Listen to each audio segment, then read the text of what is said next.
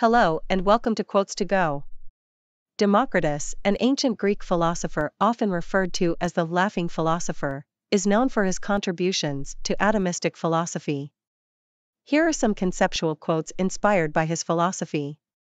In the realm of atoms, chaos and order coexist, creating the exquisite balance that sustains the cosmos. Atoms are the building blocks of matter, and understanding their language unlocks the mysteries of the universe. Life is but a fleeting moment in the eternal dance of atoms, find joy in the rhythm of existence. True wealth is found not in abundance, but in understanding the boundless richness of the universe's secrets. The pursuit of knowledge is the journey into the microscopic realms of atoms and the macroscopic expanses of the cosmos.